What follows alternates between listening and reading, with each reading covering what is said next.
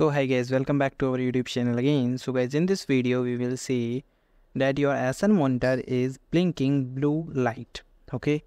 So in this video we will see what we do to resolve this and what's its mean okay? Now guys in my monitor it is simply a solid blue light okay? But in your in your case it is blink. So it means that it should be the wrong input sources is selected on the monitor okay?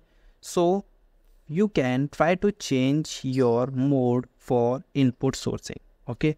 For checking the input sources first of all you can check that your input cable is properly aligned or not okay? Check your both your monitor as well as your cpu cable okay?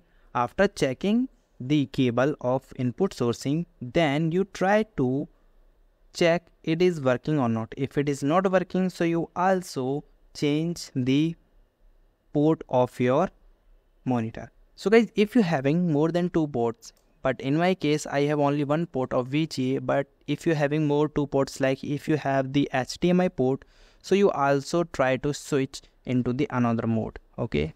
So then maybe your problem will be resolved and you also perform one more uh, fix to resolve this issue. You just press this button again.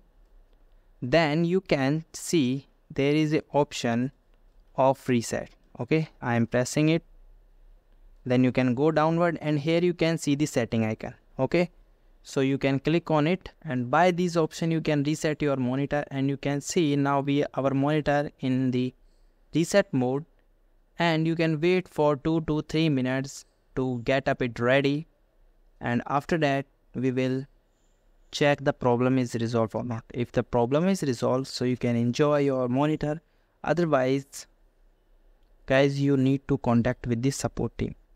For contacting the support team you should take the another device. Okay? So i will show you. And here you can search the uh,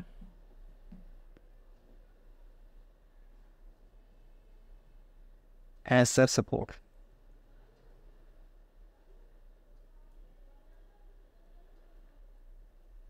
Okay, then after that you can move to this link Acer support India. And here you can go downward.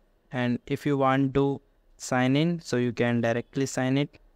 Otherwise you can uh, go here and go for the warranty inquiry if your product in under the warranty. Okay? So then you can go to the repair. And here you can enter your case id and verification code and you can get your problem solution here. Okay? So guys this is the way for contact with the support team for any problem.